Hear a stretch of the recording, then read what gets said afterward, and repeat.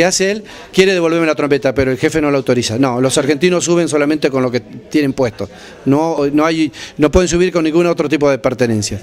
Eh, bueno, ¿y él qué hace? Después que se retiran los argentinos, eh, lamentablemente, bueno, ahí yo ya me quedo desnudo, como digo siempre, desarraigo Malvina, perder mi compañera de, guerra, eh, bueno, nos vamos tristes, como nos fuimos todos, realmente. ¿Y él qué hace después, cuando regresa a su, a su país, él es escocés, lleva la, trompeta y le dejan un museo de Escocia. Queda 15 años en ese museo y muere el dueño y entonces ¿qué hace? Va y reclama su, trofeo de guerra.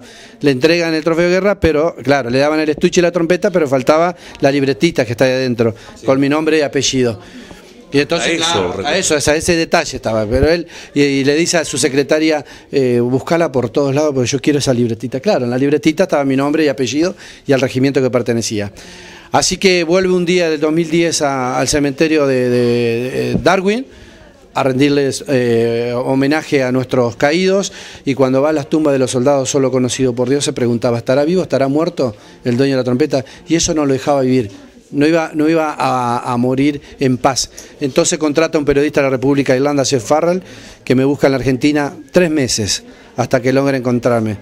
Cuando me encuentra lo llama Tony Vance desde la Argentina, eh, Jeff Farrell lo llama Tony Vance desde la Argentina y le dice que había eh, encontrado al trompetista, bueno, dame el nombre y apellido. Y le dice Omar Retanaba, sí, ese es el hombre. Porque solo me buscó con el número de... Y así te encontraron y te entregaron nuevamente tu trompeta aquí. En 2010, en el 2010 viene a, mi domicilio, yo vivo en Barra Asunción, Moreno, viene a domicilio a entregarme la trompeta y me dice, hermano, esto es tuyo, a partir de este momento voy a poder morir en paz. Él es millonario. O sea que la trompeta no lo dejaba vivir en paz. Eh, ¿qué, prevalece más acá? Lo espiritual que los intereses materiales.